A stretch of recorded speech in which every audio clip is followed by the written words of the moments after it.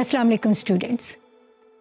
इस मॉड्यूल में हम कोशिश करेंगे कि पाकिस्तान के चंद प्रोमिनेंट जो सोशल एंटरप्राइजेज़ हैं, जिनमें से बाज़ का ज़िक्र इस कोर्स के दौरान कई दफ़ा आया है और अब आप उनसे फेमिलियर हैं, हम उनका लीगल स्टेटस जान सकें। कि वो पाकिस्तान में for profit not for profit या नॉट रजिस्टर्ड किस तरह से अपने आप को आइडेंटिफाई करते हैं। सबसे पहले इसमें हम अखुवत का ज़िक्र कर लेते हैं। जैसा कि हम थ्रू आउट इस कोर्स में बात करते आए अखुवत जो है वो माइक्रो फाइनेंस का एक रनाउंड अदारा है पाकिस्तान का, जिसके बेनिफिशरीज़ का नंबर जो है वो अब मिलियंस में है, माशाल्लाह। और उनका जो रिटर्न रेट है, वो भी 99 परसेंट वो क्लेम करते हैं कि रिटर्न रेट है। ये अखुवत जो है वो बेसिकली एक नॉट फॉर प्रॉफिट ऑर्गेनाइजेशन के तौर पर रजिस्टर्ड है। मतलब उनके सारे ऑपरेशंस जो हैं उसमें आपको जैसा कि पहले से पता है अखुवत माइक्रो लोन्स देते हैं। वो ज़ीरो इंटरेस्ट लोन है कि उनके ऊपर कोई इंटरेस्ट नहीं होता।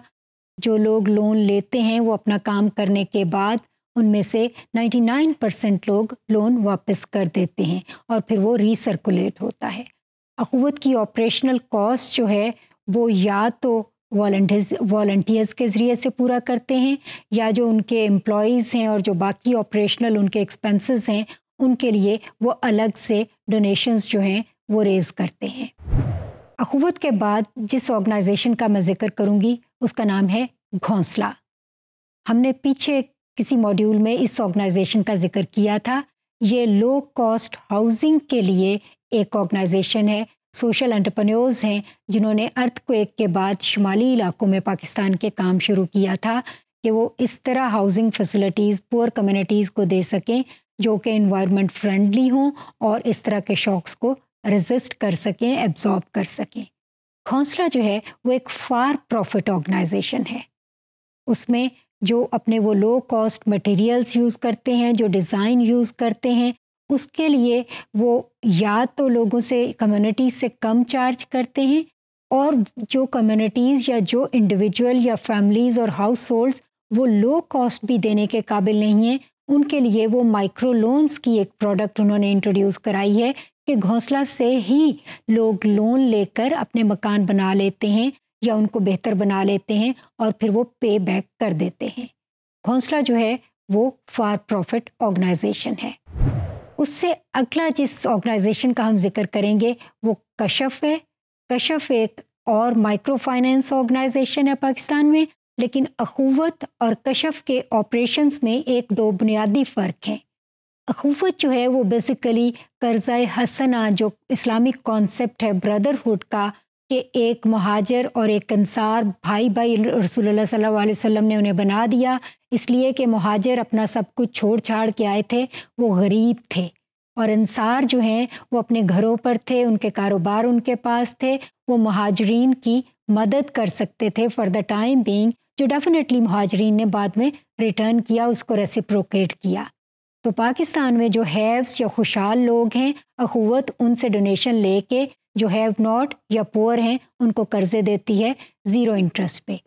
कशफ जो है, वो more like a bank operate करते हैं। उनका जो इंटरेस्ट है, उसका रेट कम होता है और वो मेनली ख़वातीन को फोकस करके काम करते हैं। हैं दोनों नॉट फॉर प्रॉफिट ऑर्गेनाइजेशन और दोनों नॉट फॉर प्रॉफिट ऑर्गेनाइजेशन के तौर पर ही लीगली रजिस्टर्ड हैं।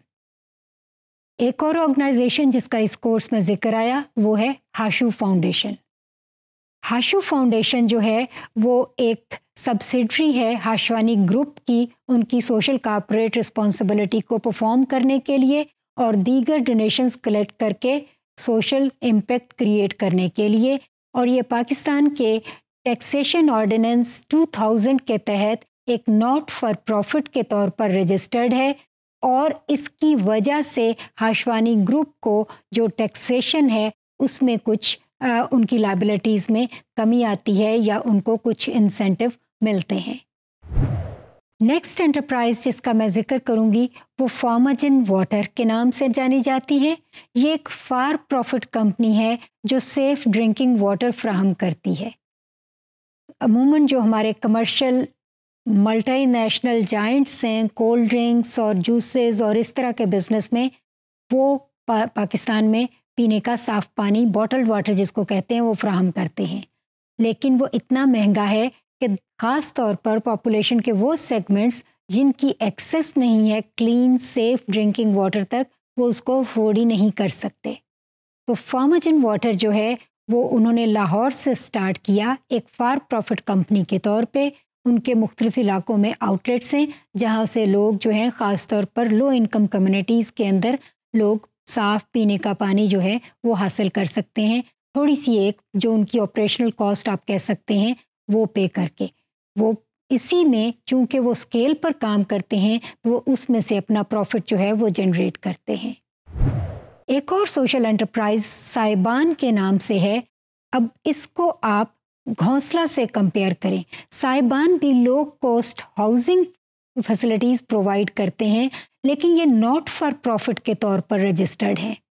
घोंसला जो है, वो भी हाउसिंग सेक्टर में काम करती है, लेकिन वो फॉर प्रॉफिट ऑर्गेनाइजेशन है और साइबान अगेन हाउसिंग सेक्टर में काम कर रही है लो कॉस्ट हाउसिंग के लिए एफर्ट करती है, लेकिन वो नॉट फॉर प्रॉफिट के तौर पर रजिस्टर्ड है।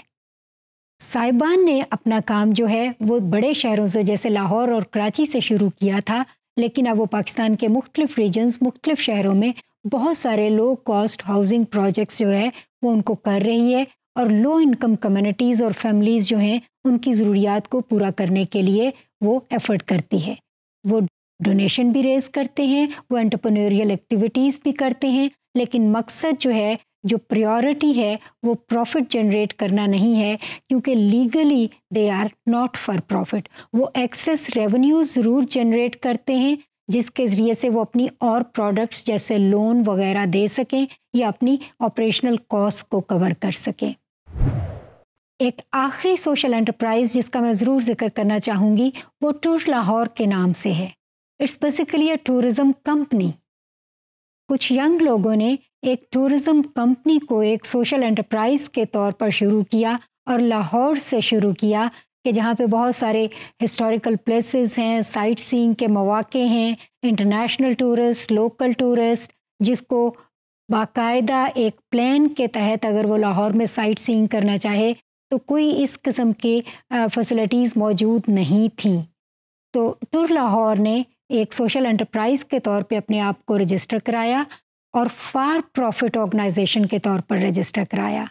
लेकिन वो लोगों को एक बहुत ही ज़रूरी रिक्रिएशन आप जिसको कह सकते हैं टूरिज़्म कह सकते हैं and it is not just about touring Lahore उसमें जो हमारे आर्टिज़ान के, जो हमारा सोशल सेक्टर है, जिसकी जो नेगलेक्टेड कम्युनिटीज़ हैं, जो हैंडीक्राफ्ट बनाते हैं लोग, जिनके पास मुख्तलिफ़ हुनर हैं म्यूज़िक करते हैं, और इस तरह के काम करते हैं, उन्होंने अपने सोशल एंटरप्राइज के अंदर इन सारे एलिमेंट्स को इनकारपोरेट कर दिया कि टूरिज़्म को कैसे बेहतर बनाया जा सकता है, और लो इनकम निगलेक्टेड आर्टिज़ान और इस किस्म के जो लोग हैं, जो इस सेक्टर से रिलेट कर सकते हैं, उनको प्रॉफिट अर्न करने की अपॉर्चुनिटीज़ ऑर्गेनाइजेशन सोशल एंटरप्राइज यानी टूर लाहौर के अपना प्रॉफिट और वो लोग जो इसके साथ इन्वॉल्व हैं, जैसे आर्टिस्ट हैं, जैसे हैंडीक्राफ्ट्स बनाने वाले हैं, जैसे टूर गाइड्स हैं, जैसे ऑपरेटर्स हैं, वो सारे लोग जो हैं, वो भी उसमें से प्रॉफिट अर्न कर सकते हैं। सो बेसिकली आपको ये प्रोफाइल्स जो हैं, वो बताने का मकसद ये था कि बाज़ात सेम सेक्टर है सेम पर्पज़ है, जैसे कि लो कॉस्ट हाउसिंग लेकिन एक ऑर्गेनाइजेशन एक सोशल एंटरप्रेन्योर जो है, वो फार प्रॉफिट ऑर्गेनाइजेशन के तौर पर रजिस्टर है और एक दूसरा सोशल एंटरप्रेन्योर जो है, वो नॉट फॉर प्रॉफिट ऑर्गेनाइजेशन के तौर पर रजिस्टर है। ये क्या इंडिकेट करता है?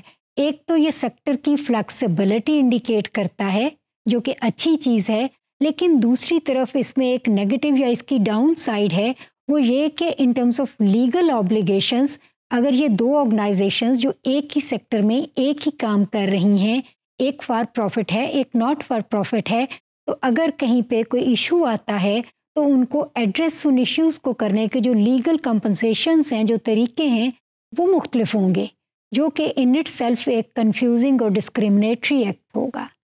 इसलिए ज़रूरी है कि पाकिस्तान में सोशल एंटरप्रेन्योरशिप स्पेसिफिक लेजिस्लेशन मौजूद हो। Thank you